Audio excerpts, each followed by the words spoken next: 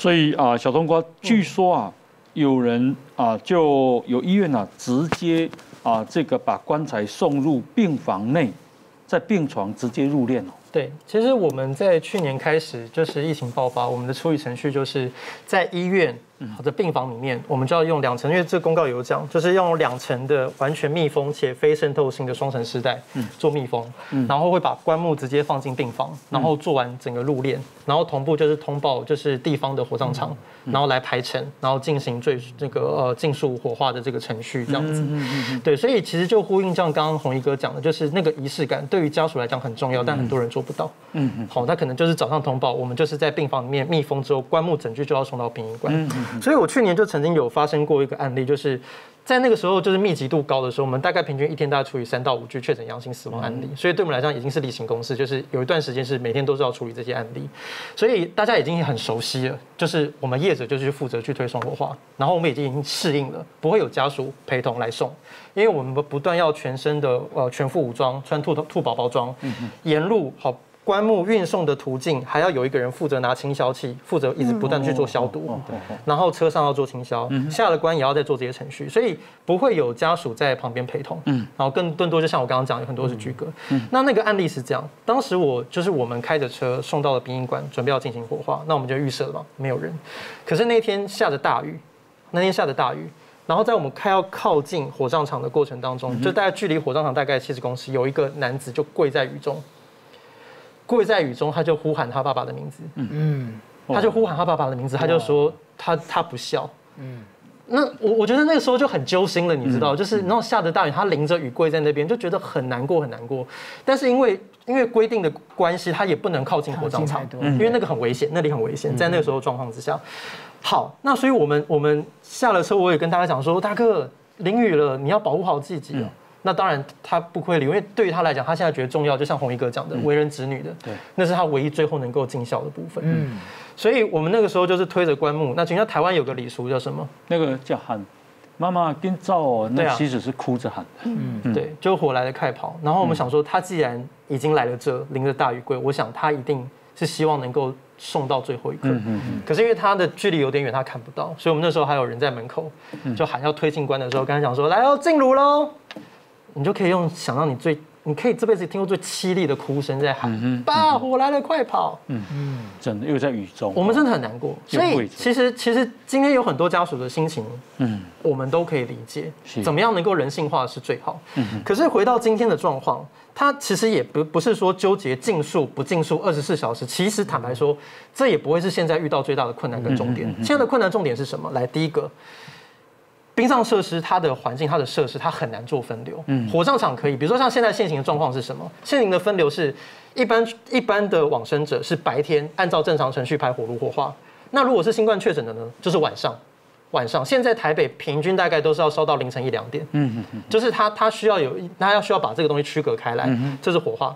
可是冰柜呢？好。冰柜它它这个它的那个出路，第一个它的法条就刚刚讲到，殡葬就是台北市殡葬管理条例，它第十条就有规范，它是不能寄存不能冰。那如果现在我把这个条件放松，好，我可以冰。那接下来的问题就会是，它的出入口在当初宾馆设计的时候，它就没有针对这件事情做分流，嗯所以它都出入口都是同一个。那你想象哦，比如说前一组家属在拉开丝带确认手腕，说啊这个是你的亲人吗？是。下一刻就有另外一组人。全身武装，兔宝宝装，然后那个两层丝带，前组家属怎么办？不不，我插个话，对不起，我觉得在我身边的啊亲友感染的人都很多了。嗯，你旁边的朋友打感染多不多？很多，都蛮多了哦。我相信每个人大概跟我差不多了，因为我刚刚有讲嘛，确诊如果是两百五十万，我们现在应该超过六百万。嗯，好，超过六百万就是表示四分之一嘛。嗯，好。那呃，所以我我觉得现在应该是说，感染 omicron 没有那么严重了。嗯。好，以前感染那个叫什么 omega 是不是？对，delta。啊，delta delta delta 就严重。嗯。啊，那个死亡率、重症率什么都高。对。所以我觉得政府应该要可以适度放宽呐。是。哦，真公一感染就应该嘛不太严重。嗯。哦，这样子。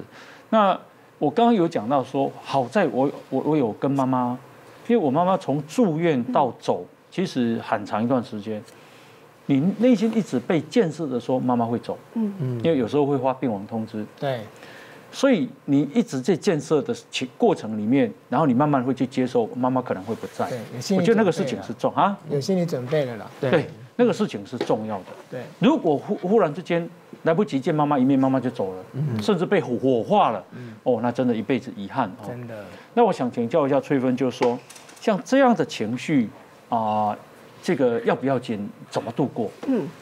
因为的确，呃，亲亲人的过往啊，不在预期范围内，对家属的伤害其实是最大的。那我自己爸爸也是在二十四小时内火化。哦，嗯，我是非常能够感同身受。我爸，我爸当时是肺炎，也是跟肺有关，然后但是不确定是癌症还是肺炎，就是就是呃那个呃结核病。嗯嗯，也是传染性疾病，也是传染性疾病。所以那时候我们就是医生就是说，那就是当。呃，肺结核来处理，所以他也是在二十四小时内火化。那那个过程真的非常的快速。对，其实我自己个人觉得啦，这次可能又会比我，因为我爸还是生病一段时间。那我觉得这次很多人是昨天还好好的，今天送医，然后可能就这样走了。嗯，那我要跟呃大家分享，就是说，嗯嗯，他不只是没有见最后一面。其实有非常多的呃家属或亲人啊，会有一种状况，可能大家比较不了解，在心理上他们会去想象过往的人，就亲人走前，嗯，我遇到非常多，他们会去想象他走之前的心情面临什么样的状况，所以我要跟大家分享，就是说不是只有没有见最后一面，而是那个草率、那个匆忙，他们会去想象那个过程，所以呃没有见最后一面，没有好好道别，然后呃所有的呃状况都是在这么快的状况发生，所以那个心理很复杂的，很多人在这样的状况下，有些人是震惊，有些人是麻木，难以接受，所以在这样混乱的状况下，你就会看到有像。恩恩的爸爸这样子，他过了一段时间会出来。那像很多人，他们就会去了解说，到底我现在不是最哀伤哈。他就是说，他到底他会去探究孩子死亡的，到底发生什么事会造成这样子？他会对孩子相关死亡事件的人，他要去呃，他不是要去，他不是要救责，他不是要去救责你们，但是他要去了解。发生了什么事？对，那他的情绪一定要经过处理，因为他的情绪很大量。嗯，然后他一定要去了解我的孩子发生什么事情，今天他会有这样的状况。所以，我希望大家不要用就责的观念去看他的行为，因为他这个是很常见的。因为我们有曾经做过二十八位哈，就是在国外做的啦，上职者的研究，其中有一个行为就是我觉得很像，就是他们会去探索原因，这是其中一个。然后，如果你不让他去探索，他会有那种被情绪上会有被剥夺的感觉，所以他会很很难接受。让我超，因为我最近啊有去看一个影电影。它是个纪录片，我觉得超好看的，好去看的人很少，但我觉得超好看的，比《独行侠》好看。它它叫做费尔的旅程。哦哦，费尔是谁呢？费尔是一个年轻人的爸爸，这个年轻人是个纽西兰人，然后他来台湾登山，结果他失踪了。哦，在一九九九年的时候，在阿里山失踪了。他爸爸呢发现不对劲，因为他儿子从来没有这么久没跟他联络，来找来台湾找他儿子，然后呢，他当然带带着很大的悲伤跟震惊来的，可是呢，想不到来到台湾，台湾人的热情，台湾人的协助，台湾人的友善，忽然他让他的生命，他的这个人生得到非常多的慰藉，嗯他把台湾当成他另外一个家，嗯所以。当我们九二一大地震的时候，他竟然也来帮忙。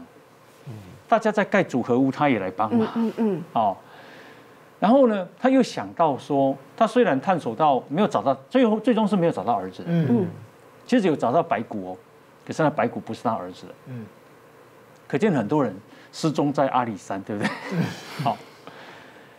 然后啊，他后来想象说，他的儿子啊，就在阿里山的山洞里。然后啊，那个树啊，因为他儿子，然后就长得更茂盛。嗯。